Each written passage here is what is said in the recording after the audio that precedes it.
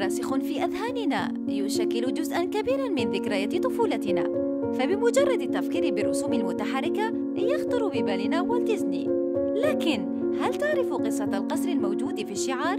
القصر مستلهم من قلعة ويشفنشتاين تقع في واحدة من أجمل المناطق الريفية بمدينة بافاريا جنوب ألمانيا. يعود تاريخها إلى القرن التاسع عشر. وقد استغرق بناؤها 17 سنة بأمر من ملك بافاريا لودفيك الثاني الملقب بالملك الرومانسي والذي احتل الحكم في سن التاسع عشر. انتقل لودفيك للعيش فيه فور اكتماله لكنه لم يستقر فيه طويلا. فبعد ثلاثة أسابيع وجد ميتا في بحيرة حول القصر.